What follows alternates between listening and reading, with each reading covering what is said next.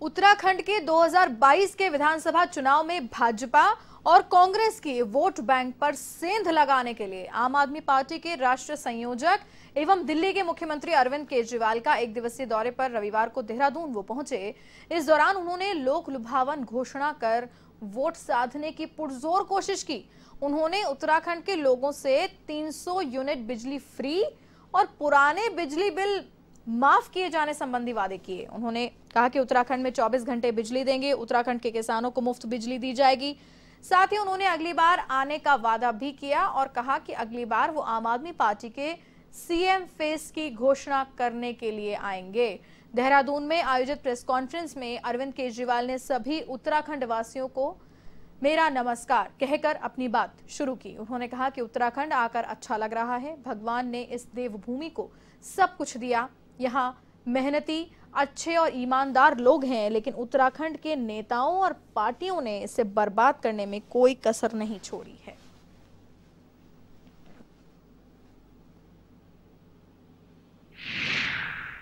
उत्तराखंड की जनता के विकास के बारे में कौन सोचेगा? क्या इन दोनों पार्टियों में से किसी भी पार्टी को उत्तराखंड की जनता की चिंता है? उत्तराखंड की जनता के बारे में कौन सोचेगा? उत्तराखंड के विकास के बारे में कौन सोचेगा? इन दोनों पार्टियों को कोई परवाह नहीं है। दोनों पार्टियाँ केवल सत्ता की लड़ाई लड़ रही हैं, कुर्सी की लड़ाई लड़ रही हैं। आज इतनी महँगाई हो गई है। एक आम आदमी को अपना परिवार चलाना मुश्किल होता जा रहा है। हर चीज़ महँगी होती जा रही है। जैसा भी कर्नल साहब ने कहा, किसी भी परिवार में चले जाओ, सबसे ज़्यादा दुखी कौन है? खासकर महिलाएँ हैं। क्यों? आदमी कमाता है, कमा के महीने के अंत में अपने घर में अपनी धर्मपत्नी को, माँ को, बहन को लाके पैसे उसके हाथ में रख देता है। फिर पूरा महीने का खर्चा तो बेचारी महिला को चलाना पड़ता है। आमदनी बढ़ नहीं रही, खर्चे बढ़ते जा रहे हैं, महँगाई बढ़ती जा रही है। मेरा ये कहना है कि उत्तराखंड जो कि बिजली बनाता है जो कि दूसरे राज्यों को बिजली देता है, दूसरे राज्यों को बिजली बेचता है, उत्तराखंड के अपने वासियों को बिजली इतनी महँगी क्यों मिलती है? क्या कभी किसी भी सरकार ने उत्तराखंड वासियों को फ्री में बिजली या सस्ती बिजली देने के बारे में सोचा? नहीं सोचा। उनके पास टाइम ही नहीं है। वो तो अपनी सत्ता की लड़ाई में लगे हुए हैं।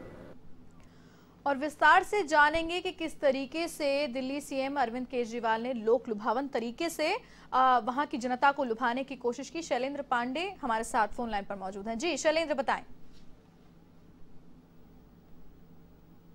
उत्तराखंड में चुनाव होने वाला है और सभी राजनीतिक पार्टियाँ अपनी बिछात बिछानी शुरू कर दी हैं। आज आम आदमी पार्टी ने भी अपनी बिछात बिछानी शुरू कर दी है। और आम आदमी पार्टी के सबसे बड़े नेता, दिल्ली के मुख्यमंत्री अरविंद केजरीवाल ने उत्तराखंड में आकर के चार घोषणाएँ की हैं। उन्होंने पहला घोषणा यह किया कि लोगों को 300 यूनिट फ्री बिजली दी जाएगी। साथ ही उन्होंने दूसरी घोषणा की कि जो पुराने बिजली बिल हैं, वो सारे माफ़ किए जाएँगे। 24 घंटे, तीसरी घोषणा है कि 24 घंटे बिजली दी जाएगी। और एक और बड़ी घोषणा है कि किसानों को हमेशा फ्री बिजली दी जाएगी। साथ ही उन्होंने अभी कहा कि पाँच साल तक कोई भी टैक्स उत्तराखंड में नहीं बढ़ाया जाएगा।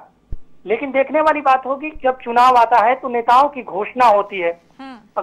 अब ये चीज़ कितनी अमल में आती है ये तो चुनाव के बाद पता चलेगा कि आम आदमी पार्टी की यहाँ सरकार बनती है कि नहीं बनती है।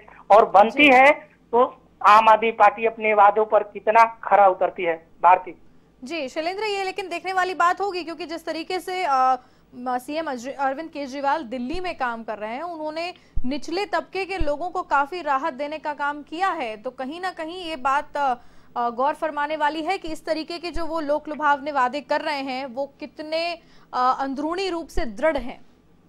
भारतीय उन्होंने दिल्ली वाला मॉडल ही रखा। उन्होंने बताया कि दिल्ली का बजट साठ हज़ार करोड़ है हम्म। जिसमें बिजली का खर्च बाईस सौ करोड़ आता है। साथ ही उन्होंने कहा कि उत्तराखंड का जो बजट है वो पचास हज़ार करोड़ का बजट है और यहाँ पर बिजली का जो खर्च आएगा वो बारह सौ करोड़ रुपए आएगा। तो उन्होंने साफ़ कहा कि पचास हज़ार करोड़ का बजट है उसमें से बारह सौ करोड़ रुपया बिजली के निकालना कोई बड़ी बात नहीं है। इसके साथ ही उन्होंने बीजेपी और कांग्रेस पर बहुत बड़ा हमला भी बोला। जहाँ बीजेपी पर उन्होंने कहा कि उन्हें मुख्यमंत्री बदलने से फुर्सत नहीं है। उनके पास खुद ही कहते हैं कि हमारा मुख्यमंत्री काम नहीं करता है और केवल मुख्यमंत्री बदल रहे हैं। साथ ही उन्होंने कांग्रेस पर हमला बोलते हुए बोला कि कांग्रेस के पास आज नेता प्रतिपक्ष नहीं है। एक महीना पहले से नेता प्रतिपक्ष का देहांत हो गया है लेकिन कांग्रेस अभी तक नेता प्रतिपक्ष नहीं चुन पाई है। साथ ही उन्होंने कहा कि उत्तराखंड की जो जनता है बीजेपी और कांग्रेस रूपी दो चक्कियों के पीस पीस रही है। एक बार बीजेपी सत्ता में आती है दूसरी बार कांग्रेस सत्ता में आती है और इन पार्टियों को विकास से कोई मतलब नहीं है लेकिन उन्होंने कहा कि जब आम आदमी की सरकार बनेगी तो यहाँ पर चौतरफा विकास होगा और राज्य बहुत तरक्की करेगा। भारती।